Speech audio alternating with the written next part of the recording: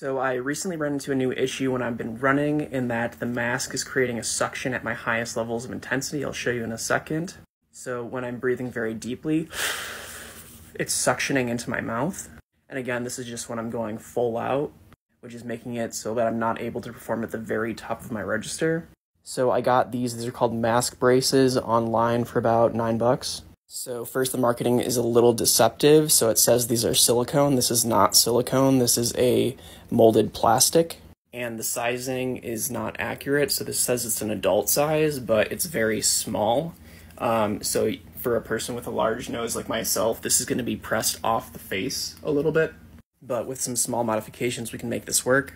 So all I'm doing is I'm cutting off these little sides right here.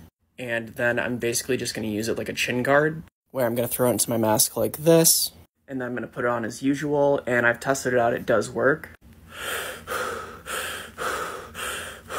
So I'm still able to breathe even when I'm breathing very deeply. I'm not getting that suctioning effect I showed you at the beginning. But I think a caveat will be that this is probably not going to be a good solution for if you don't have a tight face mask because otherwise it's just going to be rattling around. Maybe then use something like um, face tape and then just kind of like tape this to your face or uh, maybe the inside of the mask, but probably stick to just the face. So now I'm to go for a quick run and see how this fixes my problem.